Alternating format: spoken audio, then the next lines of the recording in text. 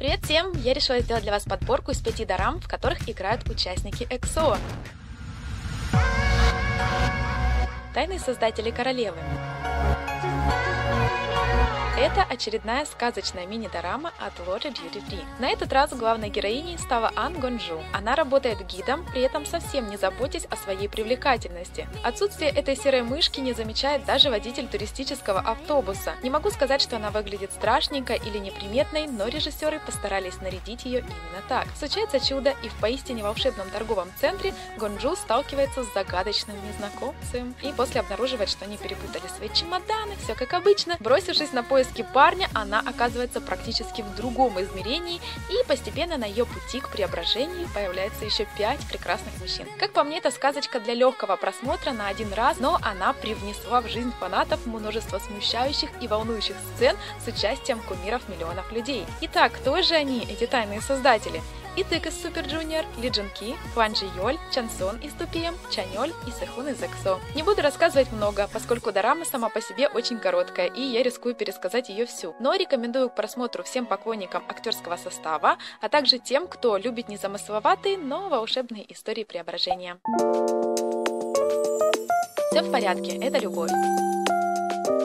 Этой истории множество ярких и неординарных персонажей. Чан Джи Йоль – популярный современный писатель и по совместительству радиодиджей, любимчик женщин с высоким самомнением, неплохо разбирающийся в психологии. Спустя два года после нападения его романы из романтичных историй все больше превращаются в триллеры с людоедами, расчленением и заживо похороненными людьми. Джи Хесу – молодой специалист в области психиатрии, умеющая неплохо, а главное быстро ставить диагнозы. Всем подряд. У него расстройство личности. Даже себе. Вообще-то мой точный диагноз – тревожное расстройство и избегание отношений. Судьба сводит этих двоих на телевизионном шоу, куда Хесу приходит в качестве психолога, чтобы дать оценку в вопросах сцен насилия и жестокости в последнем романе Чанджи Йоля. Острый врачебный ум и ловкий писательский язык моментально превращают дискуссию в настоящий поединок мнений. Джи Йоль несколько раз мастерски утирает нос уверенной в своем профессионализме Хесу и оставляет у нее о себе крайне неприятное впечатление. И это даже несмотря на то, что некогда Хэсу была поклонницей его творчества. А вот интерес Джи Йоля к такой же сильной личности, как Хэсу, наоборот возрастает. Он ищет встречи, и судьба дает ему второй шанс. Но и тут все оборачивается крайне неожиданным образом, заставляя Джи Йоли еще больше убедиться в том, что Хэсу не совсем обычная девушка.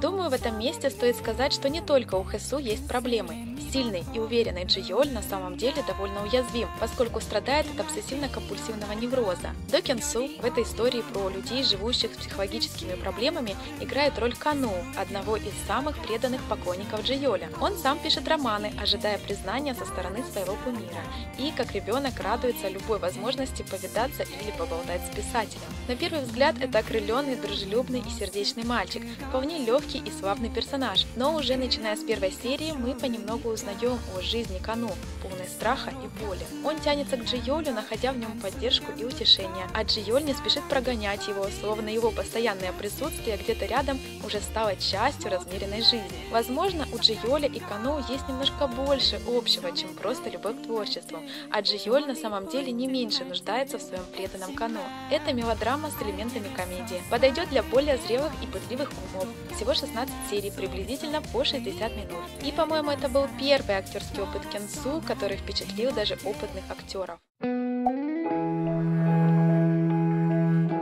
В 20. Полнометражный художественный фильм – китайский ремейк нашумевшего корейского фильма «Мисс Бабуля». Шэнь Мэнзюнь после рождения сына осталась вдовой и тяжело трудилась, чтобы в одиночку вырастить своего мальчика, который часто и тяжело болел. Прошло много лет, теперь ей уже 70, а ее сын стал настоящим поводом для гордости. Он профессор в институте, женился и подарил ей двух внуков. Внучка Синджань целыми днями сидит в телефоне и постоянно ест, а вот Цяньцзинь увлекается музыкой, и бабуля искренне поддерживает внука, ведь в молодости у нее не было возможности и условий реализовать свой музыкальный талант. И хоть Мэнцзюнь довольно веселая и жизнерадостная, она та еще старушка с характером, нравоучает молодежь, ругается с другими бабульками и постоянно ворчит на невестку. Но однажды случается неприятность, невестка попадает в больницу, и врачи настрого запрещают ей волноваться и нервничать. Семья принимает решение отправить мать семейства в дом престарелых. Перед отъездом Минзюн случайно набредает на фотостудию, где решает сделать памятную фотографию, которая, возможно, возможно, скоро украсит ее надгробие. Но случается чудо, один снимок и ей снова 20. Тот возраст, когда она была молодой и красивой. Она берет имя Ли Цзюнь, талантливо, красиво, восхищает мужчин всех возрастов. У нее появляется шанс начать жизнь заново и прожить ее только для себя. Как вы уже догадались, мальчика-музыканта Цянзиня сыграл Вухань. Цянзинь пишет песни и занимается музыкой. Он любит свою бабушку Мэнзюнь, но также молниеносно очарован молодой талантливой Ли Цзюнь. Есть стойкое ощущение, что Вухану играть-то не пришлось, поскольку в полной мере он соответствует своему персонажу. Добрый, увлеченный парень, немножко беспечный, но такой настойчивый в достижении своих целей. Это потрясающе трогательный фильм с кучей смешных моментов. Я смотрела его несколько раз и всегда вовлю мурашки, когда поет Лидзюнь. И хоть эта молодая девушка порой ведет себя как вздорная старушка, это выглядит так уморительно и колоритно, что сразу же располагает к себе. В целом, этот веселый, почти сказочный фильм с поволокой грустинки, которая заставляет задуматься об уходящем времени, упущенных возможностях, сожалениях и всяких других подобных вещах. Если бы у вас была возможность вернуться назад и прожить свою жизнь иначе, как бы вы поступили? Напишите в комментариях. «Я помню тебя» или «Привет, монстр». Драма-детективчик с элементами мелодрамы и комедии, закрученным увлекательным сюжетом. 16 серий по 60 минут. Молодой, но очень талантливый эксперт по криминалистике Ли Хён уже несколько лет живет и работает в Штатах. Он благополучно избавился от болезненных воспоминаний своего прошлого, связанных со смертью отца и пропавшим младшим братом. И тут в его руки попадает изображение, которое одновременно связывает его забытые воспоминания с чередой серийных убийств в Сеуле. Это чей-то умысел, как приглашение, подталкивает подталкивает Ли Хёна вернуться домой, чтобы найти того, кто оставляет для него все эти послания. Чаджиан – девушка-детектив, которая вместе со своими коллегами расследует одно из убийств. Тут-то она и сталкивается лицом к лицу с заносчивым и гениальным Ли Хёном. Но изюминка всей этой ситуации в том, что Ли Хён, который ее-то совсем не знает, оказывается для девушки очень даже хорошо знаком. Она с самого детства украдкой сталкерила этого парня, пока тот не покинул Сеул. Как вы могли догадаться, они станут партнерами по расследованию расследованию этого дела и главными персонажами романтической линии сериала, но я смотрела его скорее как увлекательный детектив. До Кюн Су сыграл персонажа по имени Ли Джуньон, и несмотря на то, что мы можем видеть его только в воспоминаниях, возвращающих нас в детство Ли Хёна, это имя красной лентой связывает всю запутанную историю. Оно роковое, оно сломало очень много судеб и оставило после себя очень много вопросов. Ли Джуньон жестокий и безумный убийца под следствием, а отец Ли Хёна как раз таки следственный психиатр. И при том, что ли Джуньон в принципе неординарная и пугающая личность, тонким умом отцом Лихёна овладевает настоящий ужас, когда он начинает замечать слишком много общего в рассуждениях этого монстра и его собственного маленького смышленого сынишки Лихёна. Сцены с допросом Ли Джуньона я смотрела до того, как перевели Дораму. Я просматривала их без преувеличения десятки раз, настолько мне понравился его образ, интонация, мимика, рассуждения, поступки.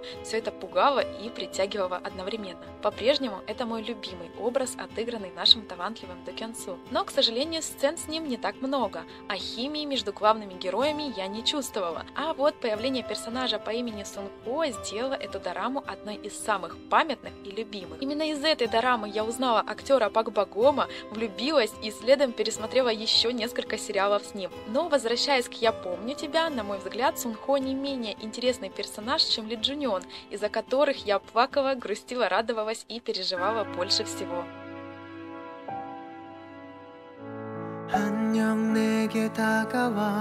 Эксо по соседству как вы смотрите на то, чтобы закончить сегодняшний список именно этой дорамой? Кажется, что ее видели все XL. Я, например, смотрела ее еще в 2015, но зная, что фэндом постоянно растет и в него приходят новенькие XL, не исключаю, что кто-то даже еще, может быть, и не успел узнать о существовании этой милой истории, очень похожей на самый настоящий фанфик. Чи Ян Хи, 23 года, жуткая стесняшка и вместе с тем преданная поклонница популярной корейской группы EXO. Однажды, темной-темной ночью на улице, где живет Йонхи, появляются фигуры четырех подозрительных особ. К несчастью, нелегко угораздило девушку отправиться в такое позднее время в супермаркет. По дороге домой она с ужасом осознает, что ее преследуют четверо серийных убийц с трупом блондинки в чемодане. Йонхи понимает, все, это ее конец. К счастью, это, конечно же, не конец, а только начало дорамы, поэтому в этот раз удача на стороне Йонхи, и она грациозно сбегает домой, где ее ждут уже более приятные новости. В дом по соседству заехали стали новые жильцы. Если верить словам мамы и брата,